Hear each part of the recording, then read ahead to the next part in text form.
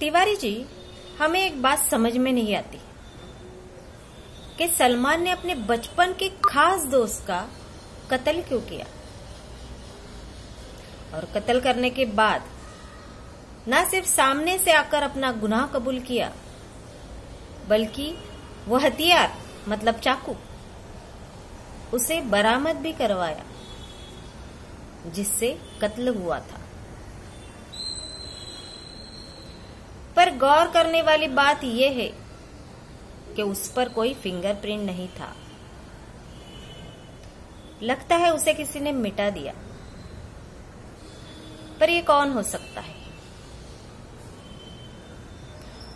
और जिसने भी ये किया है, वो पूरे प्लान के साथ किया है, ताकि वो पकड़ा ना जा सके। तिवारी जी ये केस ऊपर से जितना आसान लग रहा है, उतना है नहीं। हमें मौका वारदात पर वहाँ जाकर पता लगवाना होगा कि पूरा माजरा क्या है। तभी ये राज खुलेगा। चलिए, आइए हमारे साथ।